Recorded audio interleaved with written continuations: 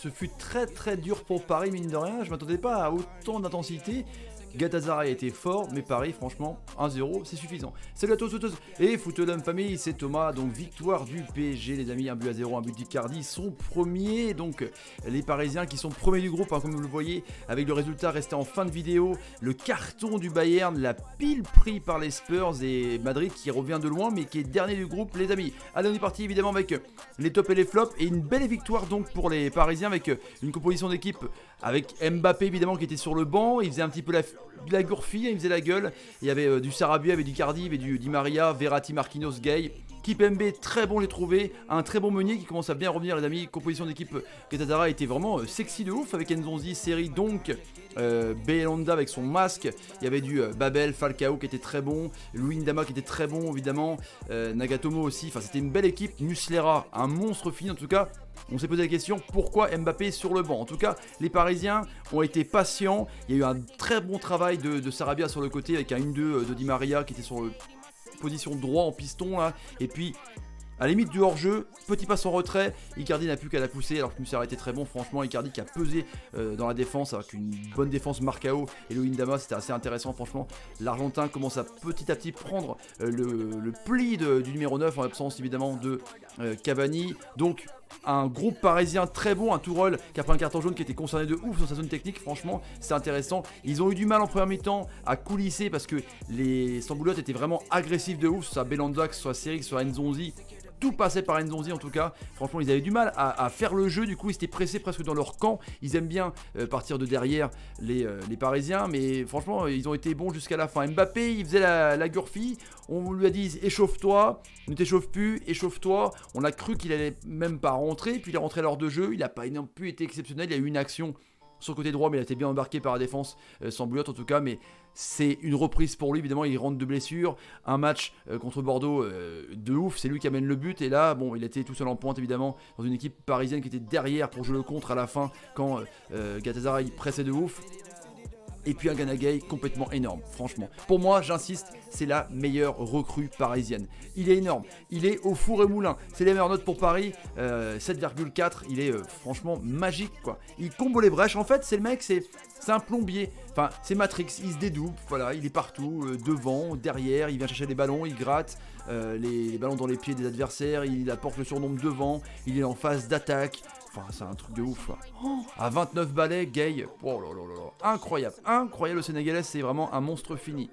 Kipembe, qui était souvent critiqué, franchement, donc qui était à la place, euh, donc euh, bah, dans la rotation évidemment il y a des blessures, hein, Diallo, Kerrer, mais je trouve que Kipembe est peut-être le meilleur des trois à la côté de Thiago Silva, vu Marquinhos, je pense qu'il ne bougera pas de cette défense euh, en numéro 6, quand il redescend ça fait un, un système à 3 pour avoir Meunier et Bernat, en tout cas Kipembe très bon, il a muselé complètement Falcao, que ce soit même Babel, franchement très intéressant l'ami Kipembe dans le match, Sarabia, que tout le monde dit que c'est un joueur bof, ouais, mais je trouve qu'il est tellement utile parce que dans ce système parisien justement où Marquinhos est en numéro 6, souvent il redescend pour faire un petit peu le le libéraux entre Thiago Silva et Kipembe ou un autre, ça dépend des compositions d'équipe. Du coup, Sarabia redescend dans le milieu de terrain pour pouvoir défendre. Il peut aussi manger la craie. C'est lui qui est à l'origine du but avec le 1-2 Di Maria et la superbe passe qu'il fait pour Diacardi. Franchement, un très bon joueur. C'est assez intéressant de voir la rotation de Paris, évidemment pour les joueurs remplaçant plus plus. Hein, Sarabia est un titulaire qui peut être titulaire évidemment. Verratti c'est peut-être le seul point faible pour moi parce que il a eu il a fait avoir un carton jaune, il s'est énervé contre l'arbitre, il était un petit peu nerveux. Euh, il était un petit peu en deçà de, Gay, il avait du mal à prendre le rythme, parce que Verratti du coup lui est toujours euh, dos euh, au jeu pour essayer de se protéger avec son corps, pour pouvoir relancer avec, sa petite force de gravité, la pim pour partir. En tout cas, mais je trouve un petit peu moins dedans s'il faut que je mette évidemment un, flop évidemment. Icardi, comme je vous dis, il a été énorme pour moi, c'est un attaquant qui pèse sur le jeu.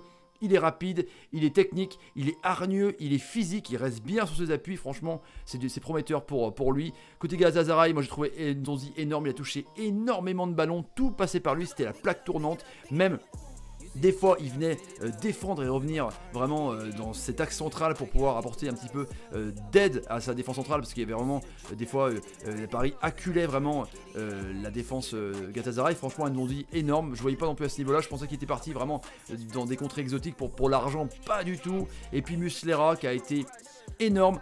Il a fait deux petites sorties douteuses en première mi-temps. Après, il a vraiment dégoûté les Parisiens. On pensait que ça allait tenir. Et puis, ce décalage, il pouvait rien faire, évidemment, comme un peu de futsal. Tu crées le surnom. Et puis, le mec, il a plus qu'à pousser. En tout cas, un très très bon gardien, les amis.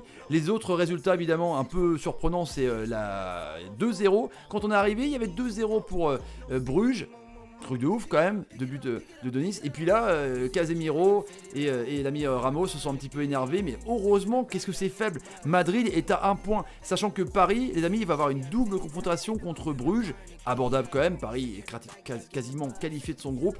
Et Madrid aura une double confrontation contre les Turcs. Et va jouer là-bas avec une état de forme comme ça quand tu fais un match nul contre Bruges. C'est chaud, les amis. C'est chaud pour Madrid évidemment. Et le carton évidemment de euh, Bayern quadruplé de Niarbi, les amis. Franchement, deux buts de Lewandowski, euh, un but de Kimmich contre un but de Son et de Kane sur penalty. Une tôle, 7 buts à 2. Hein, c'est même plus du tennis, c'est du tie-break. C'est même incroyable. Tottenham qui est vraiment en danger, qui sont derniers de son groupe. Attention, mine de rien. Au résultat, Atletico Madrid a gagné 2 à 0 son groupe avec 4 points, tout comme la Juve, 3-0 les amis. L'Étoile Rouge a battu l'Olympiakos alors qu'ils étaient menés 1 euh, but à 0. City a gagné 2-0 euh, très difficilement, c'était compliqué contre Zagreb. Voilà pour tous les résultats les amis, n'hésitez pas à partager la vidéo sur Twitter, Facebook, Instagram, message. J'attends vos commentaires sur euh, Gay, sur les Parisiens, sur le petit score à 0, c'était quand même ils ont souffert jusqu'à la fin, hein, ça a tenu, mais franchement, c'est euh, du mental pour Paris.